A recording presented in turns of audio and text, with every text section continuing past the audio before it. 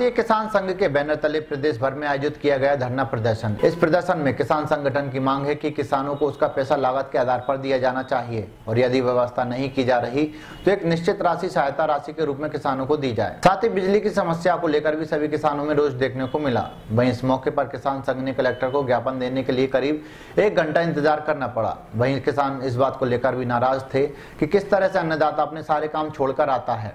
और जिलाधीश के पास इतना समय नहीं कि वह अन्नदाताओं के लिए थोड़ा भी समय निकाल पाए।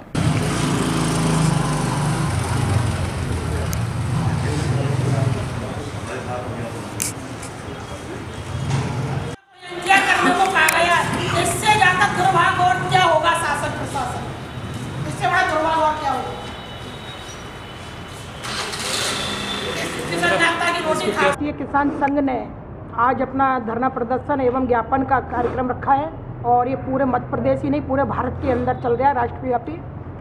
अभी हमारे सभी अध्यक्ष महोदय वगैरह सभी लोग यहाँ पर ज्ञापन लेके आए हैं।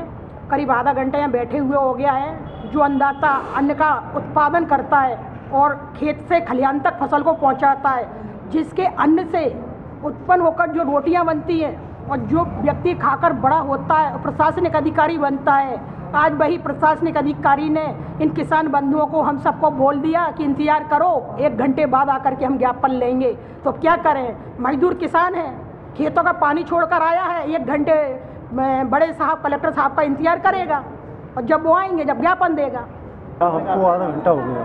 बैठे बैठे। बैठे बैठे। क्या समस्या लेके आए थे आप? हम किसानों की समस्या लेके आए हैं। हमारा भारतीय किसान संघ देशव्यापी आज आंदोलन, धरना ज्ञापन के द्वारा प्रधानमंत्री और मुख्यमंत्री को पूरे जिला स्तर ज्ञापन दे रहे हैं। जिसमें क्या है कि कर्ज माफ़ी जो मध्य प्रदेश सरकार ने किसानों की की है, वो कर्ज माफ़ी किसानों की समस्या का स्थायी समाधान नहीं है।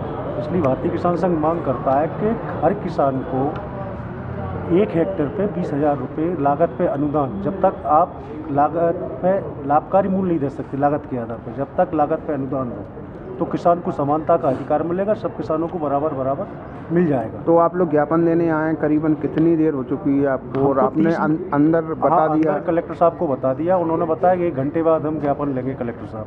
तो जब से आप लोग इधर ही बैठे हैं? हाँ जब से हम यहीं पर बैठे हैं आधा घंटा हमको हो गया। अच्छा। आधा घंटा और इंतज़ार कर रहे हैं। इंतज़ार करेंगे। आधे घंटे और इंतज़ार करेंगे और क्या करें? कांग्रेस की सरकार है तो कांग्रेस की सरकार किसानों को कर क्या कर सकता है? इंतज़ार के अलावा और क्या कर सकता है?